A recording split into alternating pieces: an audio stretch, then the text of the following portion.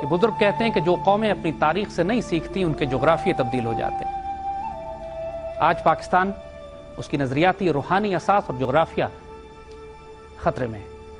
ہمارے حکمرانوں پر واجب ہے کہ اپنی ماضی سے غلطیاں، غلطیوں سے سبق سیکھیں، تاکہ آنے والی نسلیں ان کے لیے دعائیں خیر کریں۔ اس طرح بد دعائیں نہ کریں جیسے ہم اپنے گزرے ہوئے یا اپنے آج کے حکمرانوں پر کرتے ہیں۔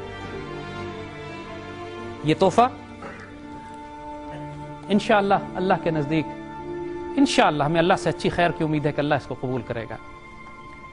اس میں خیر عطا فرمائے گا، اس کا شر نکال دے گا۔ ہماری غلطی اور کوتاہیوں پر پردے رکھے گا اور درگزر فرمائے گا۔ اس چھوٹی سی محفل کے لیے آپ کو آج یہاں تکلیف دی تھی۔ اللہ آپ لوگوں کا حامی و ناصر ہو۔ جزاک اللہ خیر۔ ایک دعائے خیر کے ساتھ انشاءاللہ اس کو اختتام کرتے ہیں اور بسم اللہ پھر جو سوال ہو، مل بیٹھ۔ پھر ماشاءاللہ، انفارمل گیدرنگ ہے، کوئی تکلف نہیں، پھر انشاءاللہ۔ اللہم صلی وسلم مبارک اللہ سیدنا محمد ولا علی وصحبہ وسلم.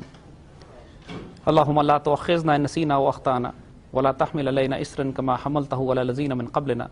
ربنا ولا تحملنا ما لا طاقت لنا به. واعف عنا واغفر لنا وارحمنا انت مولانا فانصرنا على القوم الكافرین.